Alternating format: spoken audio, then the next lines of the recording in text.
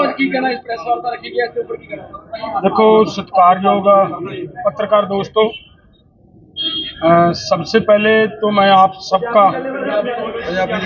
Mix ਕਰਾ ਜੀ mix ਠੀਕ ਹੈ ਚਲੋ ਅ, ਸਭ ਤੋਂ ਪਹਿਲਾਂ ਮੈਂ ਆਪ ਸਾਰੇ ਪੱਤਰਕਾਰ ਵੀਰਾਂ ਦਾ ਤਹਿ ਦਿਲੋਂ ਧੰਨਵਾਦ ਕਰਦਾ ਜਿਹੜਾ ਤੁਸੀਂ ਇਸ ਵੇਲੇ ਤੱਕ ਸਾਡੇ ਇਸ ਦੁੱਖ ਦੀ ਘੜੀ ਦੇ ਵਿੱਚ ਸਾਡੇ ਨਾਲ ਖੜੇ ਹੋ ਔਰ ਸਾਡੀ ਗੱਲ ਨੂੰ ਪੂਰੇ ਸੰਸਾਰ ਦੇ ਵਿੱਚ, ਦੇਸ਼ਾਂ ਵਿਦੇਸ਼ਾਂ ਦੇ ਵਿੱਚ ਲੈ ਕੇ ਜਾਓਗੇ, ਇਸ ਲਈ ਧੰਨਵਾਦੀ ਹਾਂ।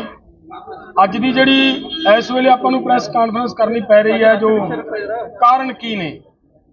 ਦੇਖੋ, ਇੱਕ ਮੋਰਚੇ ਵੱਲੋਂ ਦਿੱਤਾ ਹੋਇਆ ਪ੍ਰੋਗਰਾਮ ਹੈ ਕਿ ਅਸੀਂ ਜਿੱਥੇ ਵੀ ਕਿਤੇ ਪੋਲੀਟੀਕਲ ਲੀਡਰ ਸਹਿਬਾਨ ਆਉਂਦੇ ਨੇ, ਪਹਿਲਾ ਪ੍ਰੋਗਰਾਮ ਸੀਗਾ ਕਿ ਅਸੀਂ ਬੀਜੇਪੀ ਤੋਂ ਸਵਾਲ ਪੁੱਛਣੇ ਆ, ਕਿਉਂਕਿ ਉਸ ਵੇਲੇ ਬੀਜੇਪੀ ਦੇ ਨਾਲ ਲੋਕਾਂ ਦਾ ਰੋਸ ਸੀ।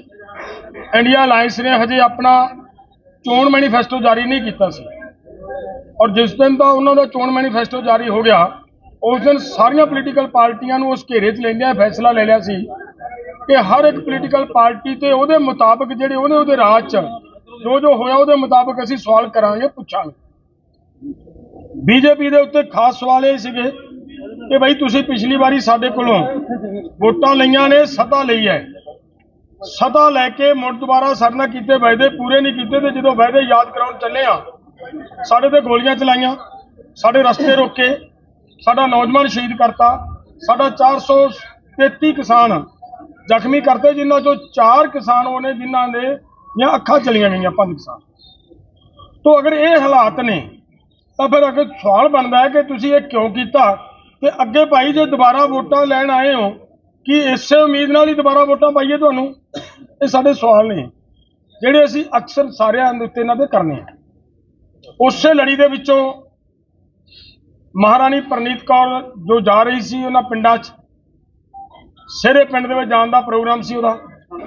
ਉੱਥੇ ਸਾਡੇ ਸਾਰੇ ਹੀ ਫੋਰਮਾਂ ਦਾ ਪ੍ਰੋਗਰਾਮ ਦੇ ਮੁਤਾਬਕ ਸਾਰੀਆਂ ਜਥੇਬੰਦੀਆਂ ਨੇ ਮਿਲ ਜੁਲ ਕੇ ਸਵਾਲ ਕਰਨ ਦੇ ਲਈ ਇੱਕ ਮੀਟਿੰਗ ਤੈਅ ਕਰ ਲਈ, ਉੱਥੇ ਬੰਦੇ ਇਕੱਠੇ ਹੋ ਗਏ। ਹੁਣ ਸਵਾਲ ਕਰਨ ਵਾਸਤੇ ਚੱਲੇ ਨੇ ਤੇ ਜੇ ਸਵਾਲਾਂ ਦੇ ਜਵਾਬ ਦੇਣ ਤੋਂ ਇਹ ਭੱਜੇ ਉਮੀਦਵਾਰ, ਫਿਰ ਨਾਰੇ ਤੇ ਨਾਰਾਬਾਜ਼ੀ ਤਾਂ ਹੋਏਗੀ। ਹੁਣ ਉਹਦੇ ਚ ਪ੍ਰਸ਼ਾਸਨ ਦੇ ਨਾਲ ਧੱਕਾ ਮੱਕੀ, ਮੈਂ ਕਹਿੰਦਾ ਹੋ ਜੇ। ਲੇਕਿਨ ਬੜੇ ਦੁੱਖ ਦੀ ਗੱਲ ਹੈ ਕਿ ਇੱਕ ਬੀਜੇਪੀ ਦਾ ਆਦਮੀ ਜਿਹੜਾ ਨਵਾਂ ਬਣਿਆ, ਹਰਵਿੰਦਰ ਸਿੰਘ, ਉਹ ਗੱਡੀ ਚੋਂ ਉਤਰ ਕੇ ਆਇਆ। ਨਾਲ ਉਹਦੇ ਆਪਦੇ ਨਾਲ ਦੋ ਤਿੰਨ ਗੁੰਡੇ ਹੋਰ ਲੈ ਕੇ ਆਇਆ।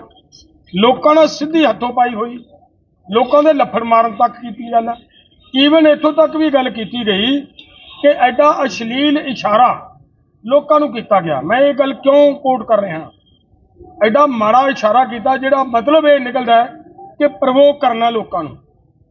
ਪ੍ਰਵੋਕ ਕਰਨ ਦੇ ਲਈ। ਕੁਝ ਦਿਨ ਪਹਿਲਾਂ ਇਸੇ ਹੀ ਵਿਅਕਤੀ ਦਾ ਬਿਆਨ ਹੈ ਕਿ ਮੈਂ ਪਿੰਡਾਂ ਦੇ ਵਿੱਚ ਲੈ ਕੇ ਜਾਵਾਂਗਾ, ਵੇਖਾਂਗੇ ਕੌਣ ਰੋਕਦਾ ਹੈ। ਇੱਕ ਇਕੱਲਾ ਇਹ ਨਹੀਂ ਹੈ ਬਹੁਤ ਸਾਰੇ ਲੀਡਰ ਹੋਰ ਵੀ ਹੈਗੇ ਨੇ ਬੀਜੇਪੀ ਦੇ ਜਿਹੜੇ ਪੰਜਾਬ ਦੇ ਵਿੱਚ, ਪੰਜਾਬ ਦੇ ਮਾਹੌਲ ਨੂੰ ਅੱਗ ਲਾਉਣੀ ਚਾਹੁੰਦੇ ਨੇ।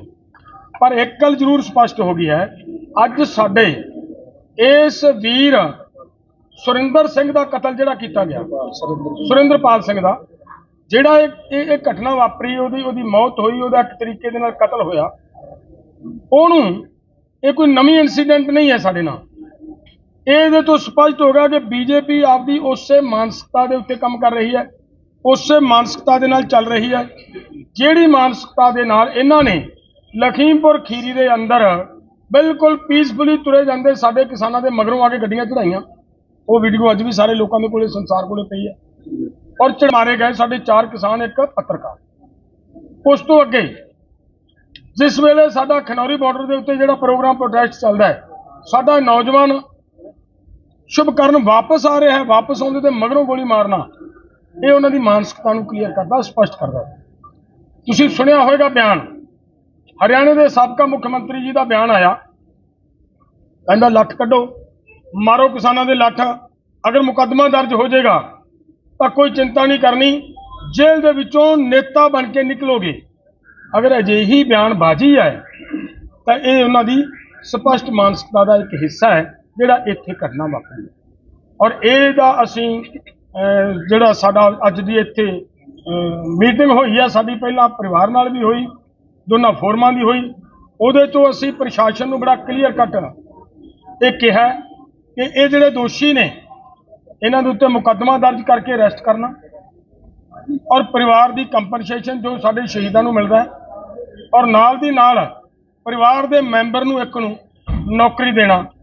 ਇਹ ਯਕੀਨੀ ਬਣਾਇਆ ਜਾਏ ਜਿੰਨੀ ਦੇਰ ਤੱਕ ਉਹਨਾਂ ਬੰਦਿਆਂ ਦੇ ਉੱਤੇ ਮੁਕੱਦਮਾ ਦਰਜ ਕਰਕੇ ਅਰੈਸਟ ਨਹੀਂ ਹੁੰਦੇ ਉਨੀ ਦੇਰ ਤੱਕ ਸਾਡਾ ਪ੍ਰੋਗਰਾਮ ਹੈ ਜੋ ਉਹ ਇਹ ਹੈ ਕਿ ਅਸੀਂ ਫਿਰ ਇਹਦਾ ਸੰਸਕਾਰ ਡੈੱਡ ਬੋਡੀ ਦਾ ਨਹੀਂ ਹੋਏਗਾ। ਇਹ ਇੰਨਾ ਕੁ ਸਾਡਾ ਮਤਲਬ ਮੈਂ ਕਹਿਣਾ ਸੀ ਹੁਣ ਪਰਿਵਾਰ ਆ ਜਿਹੜਾ ਪਰਿਵਾਰ ਸਾਨੂੰ ਤੁਹਾਨੂੰ ਸਾਰੀ ਕਹਾਣੀ ਹੈ ਸਾਡੀ ਭੈਣ ਸਰਦਾਰ ਸੁਰਿੰਦਰਪਾਲ ਜੀ ਦੇ ਵਾਈਫ ਨੇ। ਉਹ ਗੱਲ ਕਰਨਗੇ। ਕਰੋ ਜੀ ਮਾਤਾ ਜੀ। ਬੋਲੋ।